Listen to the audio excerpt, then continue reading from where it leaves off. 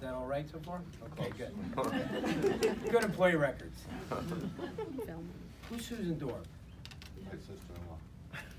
Okay. I thought she was working here. She did at the time. Oh, She was, he was referred by Susan Dorp. Sister-in-law at the time. He started his career here on July 3rd, 1978 as a laboratory technologist in chemistry. He was part-time, correct? And then later in December, converted to full-time. My first boss, Stone Cold our right guy. Give her a big hand. First boss. So long. In October of 1980, Ossie transferred into biomedical engineering. and he was a biomed tech. Thank you, George, for the sound effects. In July of 82, he was promoted to the biomed engineer manager. And then later on, in 83, promoted to the director of biomed. In 86, he was then promoted to assistant director of engineering, and he still,